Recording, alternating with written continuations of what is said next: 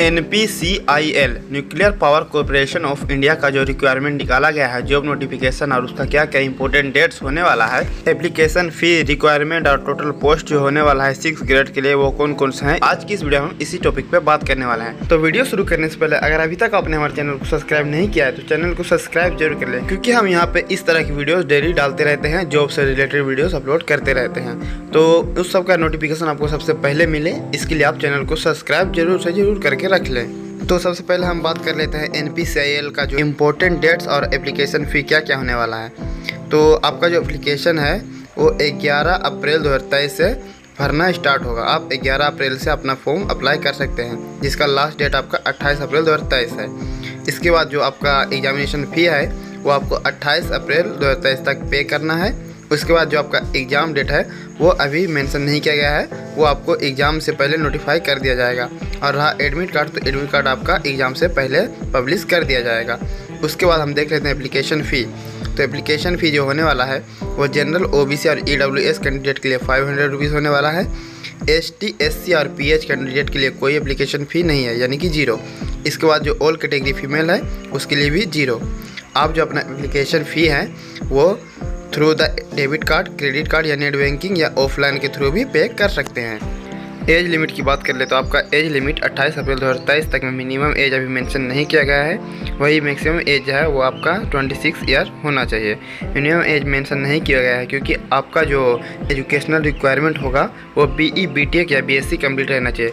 उसके हिसाब से अभी मिनिमम एज नहीं पब्लिश किया गया है। क्योंकि बीएससी कंप्लीट होते या बीटेक या बीई कंप्लीट होते होते आप एलिजिबल हो जाते हैं। इसके बाद इसमें आपको कुछ selection through the GATE जो रिक्वायरमेंट है गेट एग्जामिनेशन के थ्रू आपको मिल सकता है। अब हम बात कर लेते हैं वैकेंसी डिटेल्स टोटल पोस्ट और इसका क्या क्या एलिजिबिलिटी क्राइटेरिया होने वाला है। तो हम आपको बता दें, इसमें टोटल आपको 325 पोस्ट देखने मिल जाते हैं, जिसमें से कि रेगुलर कैंडिडेट के लिए 315 पोस्ट और जो बैकलॉग कैंडिडेट है, उसके लिए 10 पोस्ट दिया गया है। रेगुलर कैंडिडेट और बैकलॉग कैंडिडेट क्या है, इसका आप ट्रेड जो है, वो यूट्यूब में आप बहुत सारे वीडियोस उपलब्ध है, उससे देख सकते हैं कि रेगुलर ट्रेड और बैकलॉग ट्रेड क्या है। तो आप आसानी से ये दोनों यूट्यूब में देख सकते हैं। तो हम बात कर लेते हैं इसका एलिजिबिलिटी या क्राइटेरिया क्या होने वाला है। तो आपका जो बी ई टेक और बी एस सी जो इंजीनियरिंग डिग्री है, वो किसी भी ब्रांच से आप जिस ब्रांच के लिए फॉर्म भर रहे हैं, उससे कम्प्लीटेड रहना चाहिए।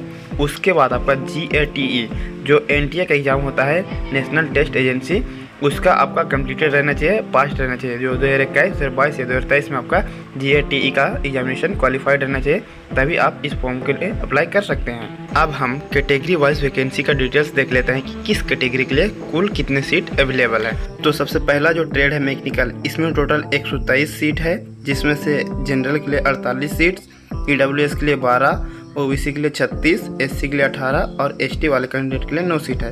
फिर इसके बाद जो दूसरा ट्रेड है वो केमिकल इसमें टोटल 50 सीट है जिसमें जनरल के लिए 19, ईडब्ल्यूएस के लिए 5, ओडब्ल्यूसी के लिए 14, एससी के लिए 8 और एसटी के लिए 4 सीट है इसके बाद तीसरे नंबर में इलेक्ट्रिकल ट्रेड है जिसमें टोटल संतावन पोस्ट है इसमें जनरल के लिए 22, ईडब्ल्यूएस के लिए 6, ओबीसी के लिए 16, एससी के लिए 9 और एसटी के लिए 4 सीट्स है फिर इसके बाद आपका आता है इलेक्ट्रॉनिक्स इसमें टोटल आपका 25 सीट है जिसमें जनरल के लिए 10, ई के लिए एस ओ बी सी के लिए सात एस सी के लिए चार और एस टी के लिए दो सीट है इसके बाद आपका आता है इंटरमेंटेशन इसमें टोटल आपका 25 सीट है जिसमें जनरल का 10, ई डब्ल्यू एस का दो ओ बी सी के लिए सात एस सी के लिए चार और एस टी के लिए दो सीट है फिर इसके बाद आपका आता है सिविल सिविल में आपका पैंतालीस सीट है जिसमें से जनरल के लिए अठारह ई के लिए चार ओ के लिए तेरह एस के लिए सात और एसटी के लिए तीन सीट है तो टोटल आपका सीट जो हो जाता है 325 जिसमें से कि जनरल का 127, ईडब्ल्यूएस का 31,